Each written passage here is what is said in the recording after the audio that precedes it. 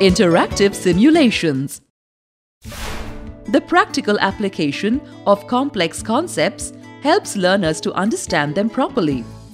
It also helps in generating interest in learners for subjects and concepts which otherwise appear dry and confusing.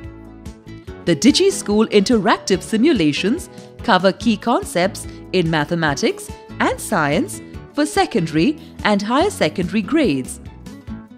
The simulations have been so designed that teachers or learners can directly use them in class with minimal how-to instructions. Also, they can be easily combined with a concept explaining DigiSchool nuggets to provide learners with a rich, holistic learning experience.